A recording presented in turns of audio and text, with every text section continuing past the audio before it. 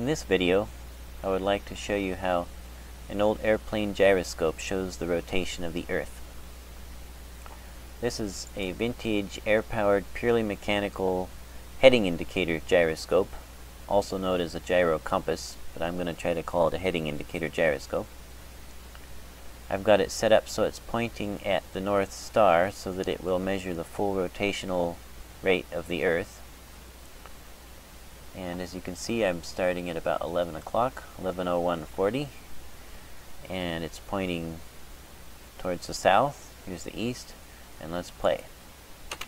It's playing at 60 times speed, so each minute only takes a second to watch, each hour only takes a minute to watch, and this is going to go for about an hour. So it'll only take you about a minute. So there's 15 degrees in an hour. And 60 degree minutes in an hour. So a third of an hour is 20 minutes and 5 degrees. So this is the uh, 20 minute mark the 40 minute mark and the 60 minute mark. So I'll let it play. And as you know the sun rises in the east, goes up and sets in the west, and like this is tracking the sun, you can see it's coming up in the east, going over and setting in the west. This should be our 40 minute mark here. I'll pause it again when we get there.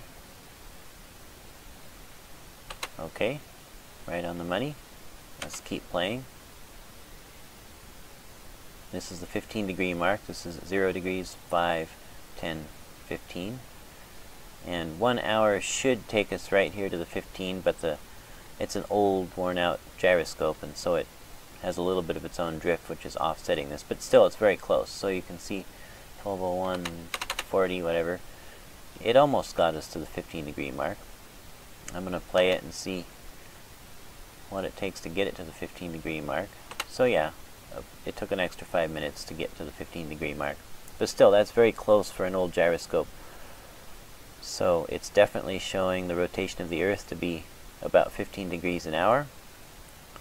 And um, if you would like to see how I set this up and how I did tests with a total of three gyroscopes, multiple tests, and they all confirm the same thing, go ahead and watch the video. But if that's too lengthy for you, now you've at least seen the Earth's rotation with a purely mechanical, air-driven gyroscope.